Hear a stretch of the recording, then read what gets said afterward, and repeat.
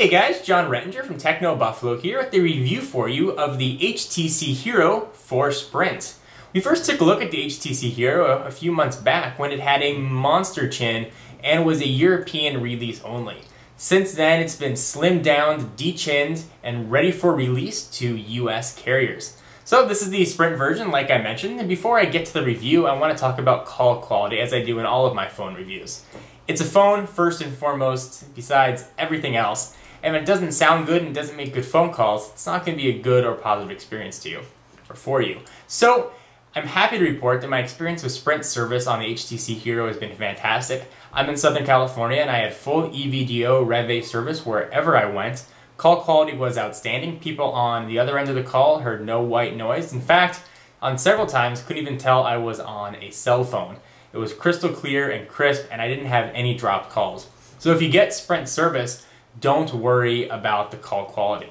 I will say that the radio on here was not the strongest. Uh, when I had a, a, Palm Pre and I tested it with a few other Sprint devices uh, that people bring, the reception wasn't quite as strong. It was probably one bar less. It wasn't bad, but I did notice the radio to be a little bit on the weaker side. So if you're in a fringe sprint area, you're going to want to try it out to make sure it works for you. But if you get plenty of sprint coverage, you're not going to have any problems. So let's go ahead and talk about the device. First, let's talk about the design since, like I said earlier, we talked about the Hero when it was the Jay Leno of smartphones.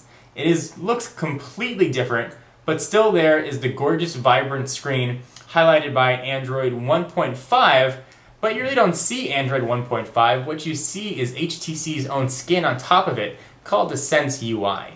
HTC makes phones, and they've made Windows mobile phones in the past. You may have seen TouchFLO 3D, that's an example of a skin. Essentially what it is, is it sits on top of an operating system. So there's been a lot of concern over this being an Android 1.5 device as opposed to the newer Android 2.0 and I can tell you that that is not a problem or even an issue at all. You don't really see much of Android. You're really getting the full Sense UI experience. There's improved widgets like I showed you in my video detailing the Sense UI. There's, well, a few more home screens. You now have seven home screens as opposed to the three normal that you usually get. The calendar applications have been reworked. Everything's been reworked for an improved user experience. The one thing that 2.0 did have that 1.5 and 1.6 did not have was the Google Maps Navigation Beta, which was the free turn-by-turn -turn direction service. But that has now been released by Google in the Android marketplace for 1.5 1.6 devices. So the only gripe I had with not being a 2.0 device is completely gone. That being said, Sprint and HTC have both gone on the record to say that the Hero will eventually get a 2.0 upgrade, so don't worry too much. So going back to the design of the phone, it is really thin and really sleek. It's got a 5 megapixel camera on the back and the soft touch rubber finish we're seeing on a lot of phones. It has a very good feel in the hand, which is really important to using a mobile device. And its size, I think, is just absolutely perfect. Guys, you're going to be able to put this in your pocket without creating a massive bulge in your pocket. It's not going to look weird.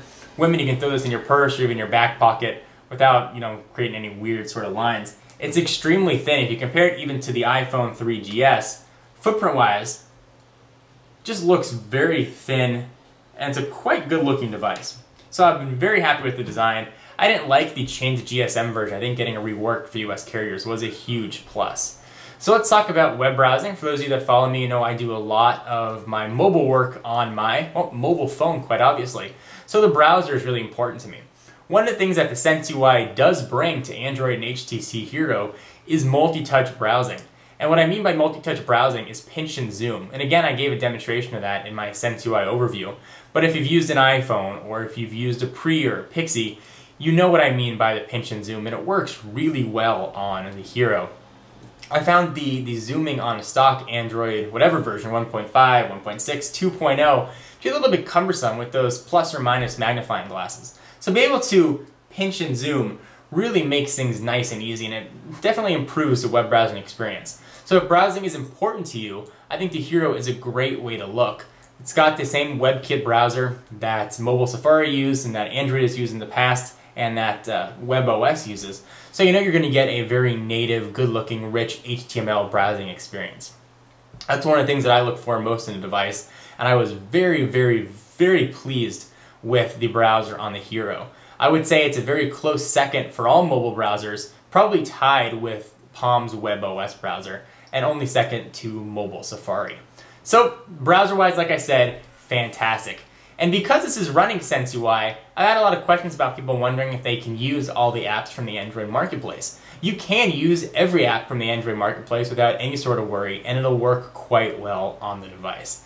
Speakerphone was very loud, and I, like I said, overall, I really liked the SenseUI experience over the stock Android experience. You're just getting a better looking home screen and much more customization options, in my opinion. You know, yours may vary.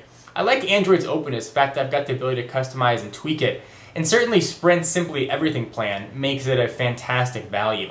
This phone's going to run you 179 bucks after a rebate and a two-year contract, so it's by no means a cheap phone. But you are getting a decent amount for your money. You're also probably going to save a little bit in the long run if you're a heavy data user with the Sprint Everything plan. You get access to all their features. You get Sprint navigation and their NASCAR if that's your thing, uh, mobile TV, and a ton of other things that uh, most carriers actually charge you for. So I've always been uh, happy with Sprint for offering sort of more value for your buck. So guys, if I have to rate the HTC Hero for Sprint on a 1 to 5 scale, I give it a very solid 4.5. Uh, the on-screen keyboard is great and easy to use. It only missed out on that little bit of an other half um, because a little bit of sluggishness in the processor. And that's been the one thing that's been hampering the Hero. If you've got a lot of applications open and running, um, you're going to notice a little bit of a slowdown. The processor is not the fastest one out there, but it's certainly more than capable, and that shouldn't dissuade you. That was the only thing that kept it from getting almost a perfect rating. Anyway, guys, hope you enjoyed. I can absolutely recommend the HTC Hero for anybody out there considering a Android device for Sprint. So, hope you guys enjoyed. For exclusive content, check me out at Twitter, twitter.com slash jon4lakers. And to learn more about Techno Buffalo and get all your tech news and create and monetize your own tech site, and interact with people on our sort of brand new social network, check out, of course, technobuffalo.com. Videos and links to all that stuff will be in the sidebar. If you're watching this on Techno Buffalo, you're already there. I'm Jon Rettinger, and I'll see you guys in the next video. Bye-bye.